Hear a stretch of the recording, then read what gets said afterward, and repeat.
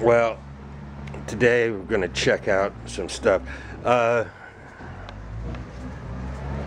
recently in, in Mukdahan, there's been a lot of development here and new houses and stuff. And right now, they're uh, this company in Bangkok's owned this land behind my house, all the way. There's a road way down there, way down there by that building, by that building down there. It's about five, six hundred kilometers. I mean, five, six hundred meters down there.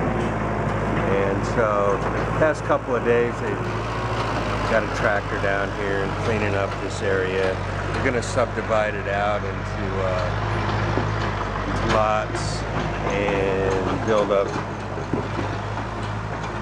basically build build houses to order.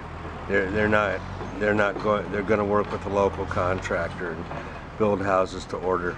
So this house down here which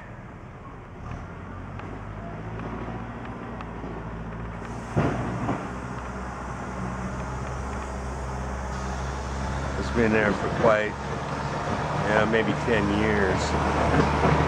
And it's been abandoned. They're taking it over eh, probably it's going to be like the uh, sales office stuff, the headquarters. But it's been gutted. It's there's nothing in there right now. But they they've had some uh, workers in there past day or two cleaning it out and stuff. So and allegedly down here this area is all real low and whenever there's a lot of rain the water collects down there in pools. So I we talked to the the lady that's in charge of this and she said they're going to build a uh, a pool down uh, not, not a pool but a, a pond and you know kind of use it for a uh, as a feature for their little subdivision here. Uh, allegedly they're starting out with eight houses and see how it goes and sooner or later there's going to be a road uh, a paved road down here that it's already a road but it's it's not paved. But sooner or later it's it, they're going to pave it because this this area it goes from down here to down there connects to two ring roads one that they're making the inner ring road and one that exists right now.